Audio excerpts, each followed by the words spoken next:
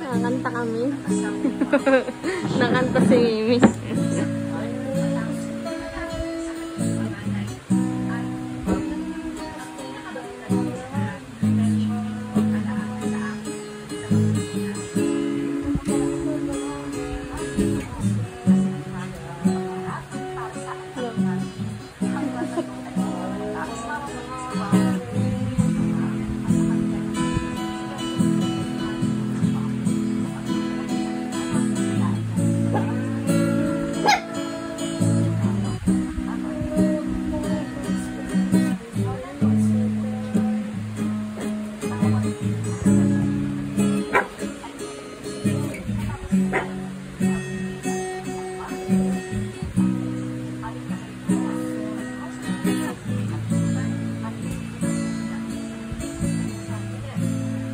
Nakanta si Mimi, be.